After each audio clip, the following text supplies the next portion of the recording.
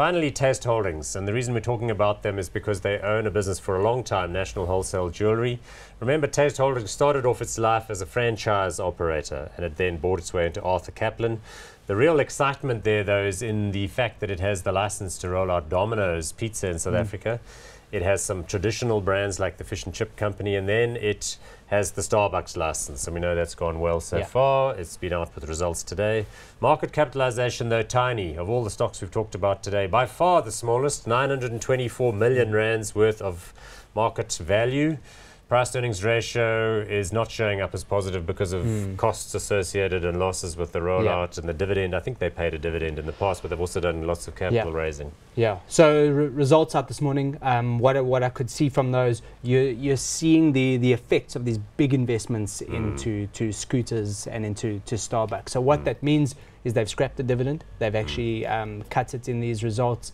Um, finance costs are, are doubling, their operational costs are doubling, and profitability is yeah. obviously being affected as a result. So what you get is you've got the um, luxury goods section being attributable for the entire profit of the group. Yes. So they're doing all the heavy lifting at yeah. the moment, yeah. while the big expansion plans are on there. And when Howard Schultz from Starbucks visited yes. the country, he said, hey, I've never seen queues like this outside of a new store. We must rather do 200 here instead of 20. Yeah.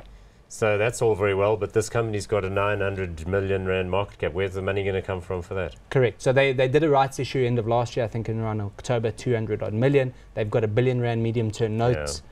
program.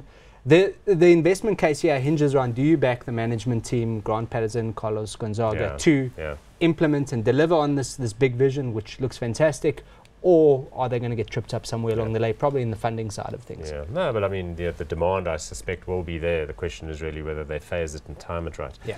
Okay, so we own a few of those in the portfolio. They're sort of bounding around. They were up at five rand a share briefly when the Starbucks announcement came out. Then they've mm. come down again.